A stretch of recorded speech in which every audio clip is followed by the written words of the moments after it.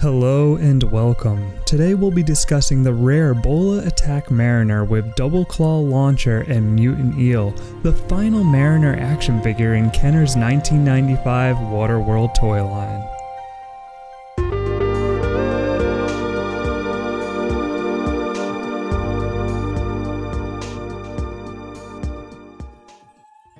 Welcome to the Atoll, your home for Waterworld fandom. On this channel, we analyze the cinematic universe of Waterworld in hopes of making new discoveries about this cult sci-fi adventure franchise. In this video, we will focus on the Bola Attack Mariner, the rarest of the basic figures from the Waterworld toy line. Looking first at the packaging for this toy, we find the familiar design and logo, with the figure and its large weapon filling out the plastic bubble impressively. The back of the card has an image of the entire toy line and directions for how to use the various features of this specific toy. Now, taking a look at the figure out of the packaging, we are greeted with what might be the coolest and most radical paint job in the entire toy line. The Mariner sports turquoise blue trousers, shirt, and scarf, and a beige patchwork vest. He is also outfitted with gray ski boots complete with a boot knife and these spectacular metallic blue gloves. This outfit is reminiscent of that worn by Kevin Costner in the first half of the film. Be sure to check out my other videos on the Waterworld figures for even more details on the creation of the Mariner's costume.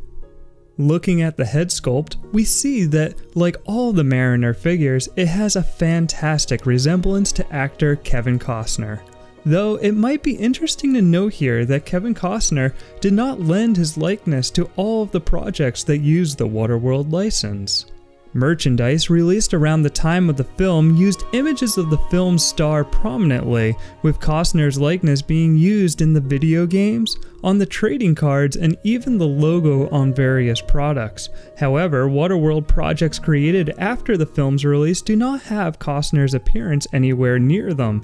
For instance, on the promotional material for the Universal Studio Live show, or the 1997 released Waterworld, The Quest for Dryland, PC game. Perhaps most famously, Costner prohibited the use of his likeness in the Children of the Leviathan comic book series.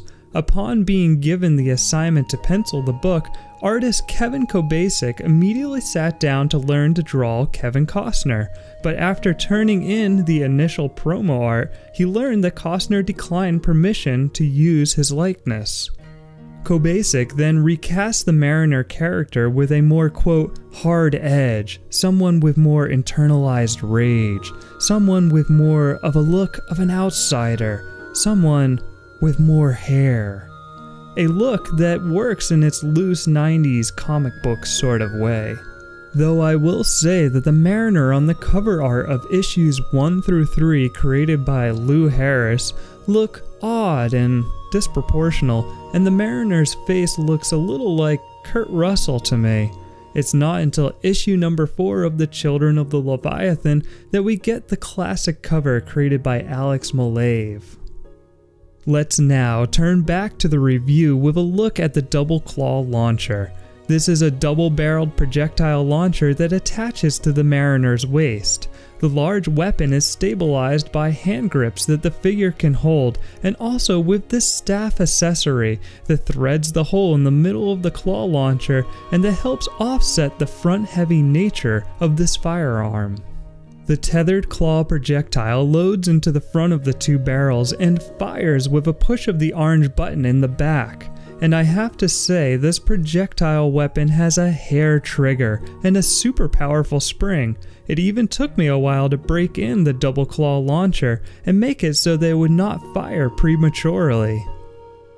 The double claw launcher is sculpted to fit within the Waterworld universe with rust, scratches, and it seemingly being created from random found parts though I should note that a similar Bola style weapon has been used in other Kenner toy lines, from Batman to Predator. However, my favorite is the Jurassic Park Alan Grant Series 2 figure with double barreled Bola launcher, another favorite from my childhood. At this point, I would like to mention that the Bola Attack Mariner is actually the most expensive and rarest toy in the Waterworld basic figure line. The number of Bola Attack Mariners produced seems to be about one third to that of the rest of the figures in the line, causing this figure to run about three times the price of the other figures. This always seemed odd to me since Kenner chose this version of the Mariner to be on the box art of the Trimaran playset, leading us to believe that this might be the definitive Mariner figure by the toymaker's standards. However, I am not the only one to notice the rarity of the Bola Attack Mariner. Looking at the fan letters in the back of the Children of the Leviathan comic number 3, Brandon Walsh of Chicago, Illinois writes, I have all of the Waterworld action figures except the Bola Attack Mariner. Was it ever released? So even back in 1997, this figure was scarce. But why is this figure rarer than the others in the toy line? Well, we can only speculate. Perhaps the toy was produced with a malfunction, for instance, mine has a hair trigger that will sometimes fire on its own. Or perhaps Kenner cancelled the production of the figure early, given the film's disappointing box office returns, resulting in less figures hitting the shelves. Maybe we'll never know, but if you do have any of your own theories, let me know in the comments below. I will end this video, as I do with all the basic figures, with a look at the packed-in mutant, in this case, the mutant eel. This may be the smallest of the mutants, but it does not lack in detail. It sports fins, scales, nightmarish mouth, and even sprouting arms, and the deep purple color is among my favorite in the collection truly mutacious. But where else can we find the mutant eel in the Waterworld expanded universe? A mutant eel appears in the underwater levels of the Super NES game, the Game Boy game, and the Sega Genesis game. A mutant eel also makes an appearance in the Children of the Leviathan comic book and is also among the sea life in the pinball game. Well, there you have it. That's my in-depth look at the Bola Attack Mariner with Double Claw Launcher and Mutant Eel.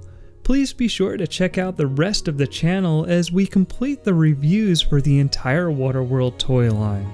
And thanks, as always, for joining me at the Atoll.